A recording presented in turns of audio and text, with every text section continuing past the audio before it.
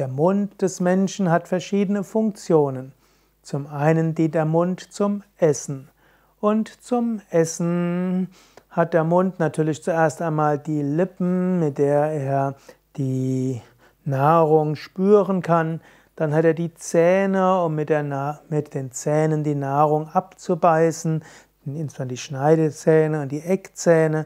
Dann kann er mit den Backenzähnen die Nahrung zerkleinern.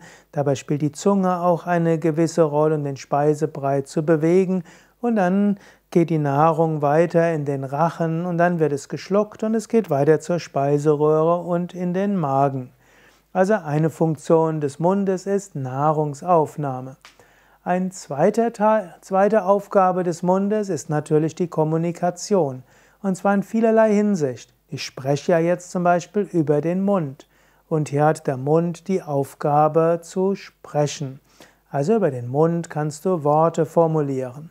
Kommunikation geht aber noch anders bei dem Mund. Du kannst zum Beispiel die Lipp-Mundwinkel nach unten geben, nach oben geben, also auch die Gestik und beziehungsweise die Mimik, da geschieht vieles mit dem Mund. Und du kannst natürlich auch mit dem Mund küssen. Auch das dient der Kommunikation und dem Austausch.